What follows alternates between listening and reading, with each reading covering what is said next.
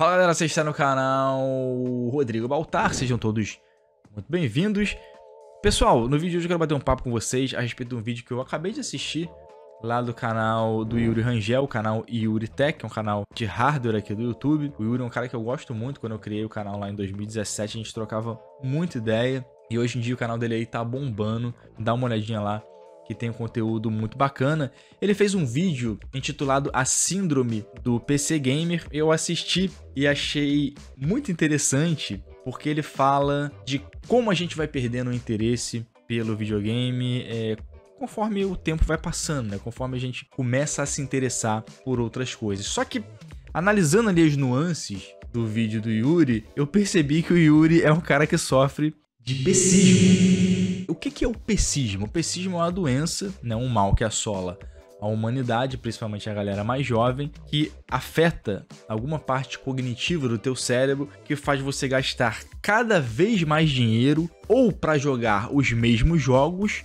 ou não jogar nenhum jogo. E você percebe no final das contas que o que você gosta de fazer mesmo é gastar dinheiro e ver o teu computador lá cheio de LED, bonitão, brilhando, piscando, vários números lá no MS Afterburner, você pega aquele jogo ali, instala, vê lá, caraca, o desempenho cada vez melhor. Fecha ele, vai para um outro, compra vários jogos e não joga nenhum. Você não faz porra nenhuma, você só fica vendo ali FPS e o teu computador brilhar e você, no final das contas, só acaba, só joga dinheiro fora, né? Você fica ali assistindo algumas séries no Netflix, no computador, você fica assistindo fórum, discutindo, xingando, acessando Reddit, vendo notícia, indo no canal do cara, brigando porque a peça tal é melhor que a outra, xingando o cara porque o cara comprou uma peça da Nvidia em vez de comprar AMD ou vice-versa. O cara optou por AMD, tinha que ter optado por Intel. Então, resumindo, o resumo da ópera é que o pesismo é uma doença e o poderoso PlayStation 5 é a cura. Todo mundo que saiu do canal aqui sabe. Mas esse esse ponderamento que o Yuri fez é realmente muito válido, cara, porque quando a gente é criança, muitas vezes a gente quer ter coisas que a gente não pode ter, nosso pai não pode dar.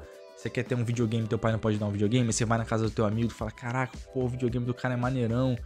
Aí você compra, pô, um Super Nintendo, o cara compra um Playstation. Tu fala, caralho, parece que eu tô sempre correndo atrás do meu amigo ali. Então, o meu sonho é, porra, ter um videogame foda, ter um computador foda tal.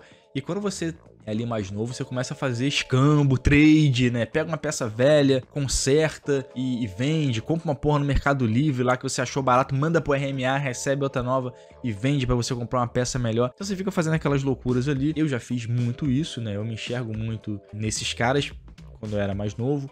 Eu vejo muito que o público desses canais é essa galera. E eu acho interessantíssimo que os caras ajudem esse pessoal a não fazer merda, né? Não jogar dinheiro fora, porque muitas vezes os caras não têm dinheiro para jogar fora. E só que em determinado momento da tua vida, quando você começa a trabalhar, pelo menos foi assim comigo, eu comecei a perceber que, porra, eu não precisava mais ficar perdendo tanto tempo com essas coisas, né? Eu perdia muito tempo com fórum, pesquisando, é, porra, para não fazer besteira, ficava discutindo, respondendo os outros, ajudando a, a, galera e tal, fazendo a comunidade se movimentar, né? Eu era usuário de vários fóruns aí, porra, perdia muito tempo com isso. E depois que eu comecei a trabalhar, eu percebi que, porra, eu não preciso perder tanto tempo com essa porra. Basta eu juntar um dinheirinho aqui e comprar aquilo que eu quero e largar de mão. Vou me divertir a partir daquilo ali. Né? Não importa se eu comprei a, sei lá, a RTX 3060 e a AMD lançou a RX 6650 XT, que com os drives que ficou melhor, que otimizou ali, a porra ficou melhor e eu perdi. Porra, me arrependi de ter comprado a 3060, poderia ter comprado a outra, quando no final das contas é tudo a mesma merda. Principalmente pro cara que é pesista, que tá sofrendo do pesismo, não vai jogar porra nenhuma, só vai ficar vendo ali os FPS correndo na tela com gráfico cada vez melhor, gráfico 4K, jogar mesmo o cara não vai. Então eu percebi que eu perdia muito tempo com essa porra, né? O canal começou muito por isso, né? Eu via a galera jogando dinheiro fora muitas vezes, é, é, comprando coisas que não precisava, pagando muito mais caro, né? Por coisas que não não, não precisava ter, né? E hoje em dia eu vejo que, cara, não mudou tanto assim. Eu achava, assim, geralmente quando eu, eu paro de fazer uma coisa, eu acho que todo mundo para.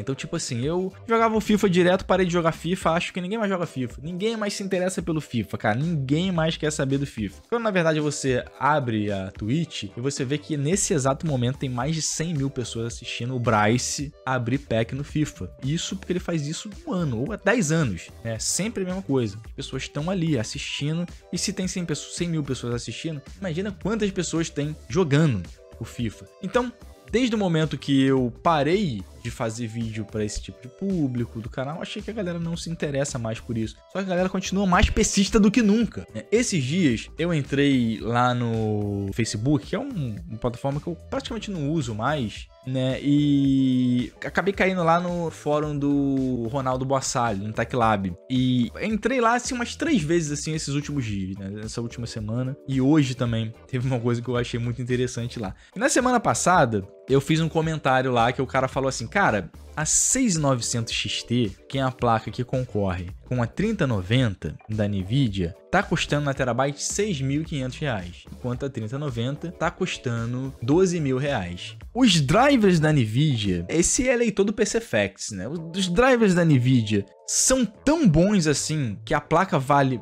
a placa da Nvidia vale o dobro.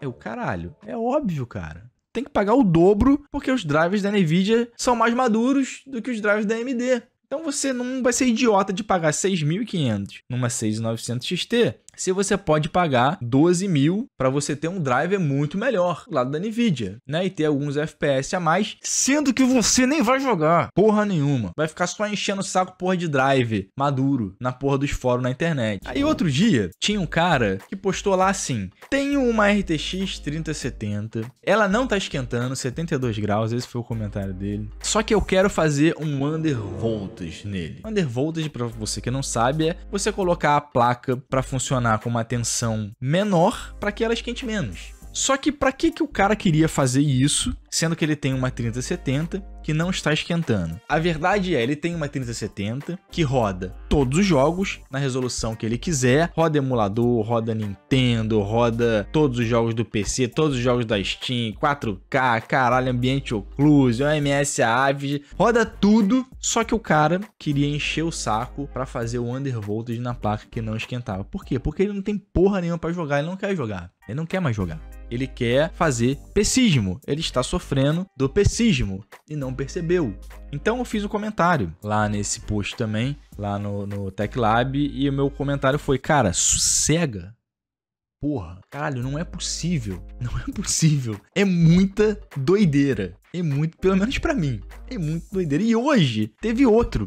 Né? Eu abri lá o, o Facebook para divulgar o sorteio da RTX 2060 que vai ter aqui dia 29 agora.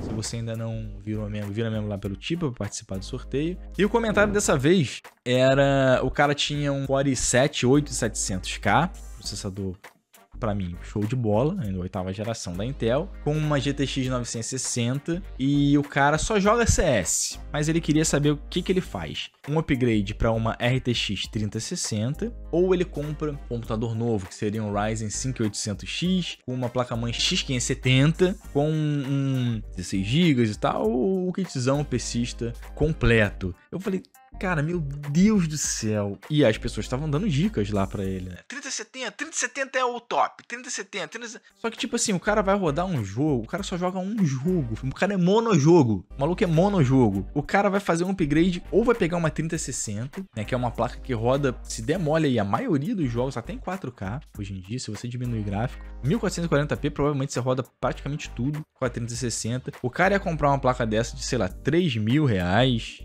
é, 3.500 reais hoje em dia para jogar só o Counter-Strike, que provavelmente já tá rodando, sei lá, em 200 FPS na máquina dele. Ou ele ia comprar um computador também, Ryzen 5800 com placa X570, o caralho, o cara ia gastar um caminhão de dinheiro só para jogar o CS e o efeito que ele vai ter, muito provavelmente é um efeito placebo. É, se a placa dele é muito caveira, GTX 960, pô, dá para você comprar, sei lá, uma 3050, quer comprar uma placa nova, se você comprar 3050, você vai economizar muita grana, R$ 1.500 aí pelo menos, para poder jogar o Counter-Strike, que é um jogo que o cara jogou com a GTX 260, 460, 560, 660, 660 Ti, 760, 960 que é que ele tem agora, mas muitos outros jogaram com a 1060, 2060 e agora provavelmente também estão jogando com a 3060. Então o cara não tá percebendo que na verdade ele tá sofrendo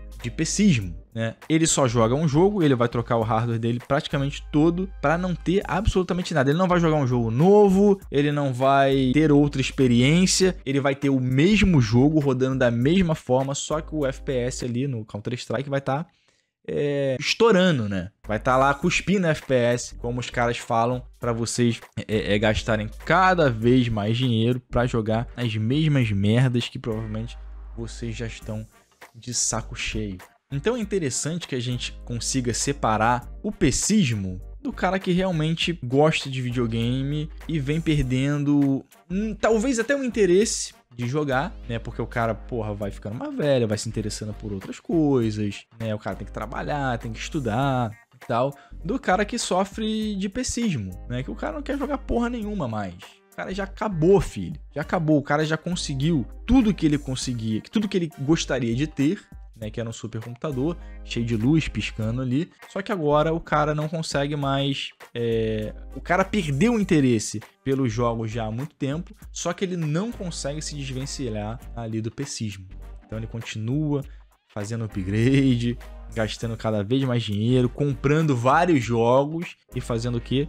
Testando esses jogos. Liga ali, testa, caraca, deu vários FPS, sai, volta pro fórum, volta pra parada pra ficar brigando, volta pros canais ali pra ver qual o drive melhor e fica ali vivendo de pessismo. Tem certeza que a maioria desses caras fazem esses upgrades doidos aí, instala tudo lá, formato, caralho, e quando chega fala, porra, aí. Meu computador tá foda, maluco. E depois fica batendo aquela porra assim, cara. Será que eu precisava ter gastado esse dinheiro todo nesse, nesse upgrade? Então, pessoal, coloca aí nos comentários que, que vocês acharam desse vídeo do Yuri, né? Que é um vídeo interessante. Acho que a gente até poderia falar aqui, mas eu já falei muito sobre isso. Sobre como as circunstâncias da vida acabam distanciando a gente de coisas que a gente gostava tanto quando era mais novo, né? E jogar videogame é uma dessas. Eu hoje em dia, graças a Deus, trabalho com isso, né? Gosto muito do que eu faço é, todos os dias, quando eu acordo, eu agradeço a Deus, porra, cara, muito obrigado, cara, por fazer isso por mim, porque é, eu sempre sonhei em trabalhar com videogame e hoje em dia é, faz parte do meu trabalho jogar. E eu gosto tanto de videogame, tanto, tanto, tanto, que hoje em dia eu dedico uma parte da, do meu trabalho só para jogar videogame. Isso foi uma coisa que se perdeu lá em 2017 quando eu criei o canal. Eu já falei várias vezes sobre isso, né? Mas eu sentia muita culpa de estar tá jogando videogame enquanto outras pessoas estavam estudando, trabalhando, correndo atrás e eu achava que eu ia ficar para trás no mercado de trabalho, achava que eu ia ser engolido pelo mundo né? Então eu acabava, quando estava jogando videogame, ali, sentindo muita culpa, né? Por estar tá perdendo tempo, entre aspas. E hoje em dia, né? Graças a Deus eu posso jogar. Ainda sinto um pouco de culpa, assim, porque deveria né, acredito eu estar tá fazendo outras coisas, né, que me possibilitassem ganhar, por exemplo, mais dinheiro ou que me fizessem é, crescer mais profissionalmente, talvez, ou até tipo eu parei de jogar bola durante a semana por causa das lives, né? Então era uma coisa que eu gostava muito de fazer. Eu acho que isso tudo acaba fazendo parte de você envelhecer, né? Então, pessoal, é isso aí. Se você sofre de pessismo, deixa aí os comentários abaixo. É muito importante que você diga também se você ainda sente prazer em jogar videogame. Talvez eu faça até um vídeo sobre isso. Se você se sente culpado jogando videogame, se você sente que você perde tempo jogando videogame e deveria estar fazendo outra coisa mais produtiva para sua vida. Deixe aí nos comentários. É muito importante que você deixe a sua idade também, para a gente ter noção, para coletar esses dados aí que vão entrar na pesquisa sobre o pessismo, beleza? Vou ficando por aqui. Um grande abraço, um abraço pro Yuri. Tamo junto, é nóis e até a próxima. Fui!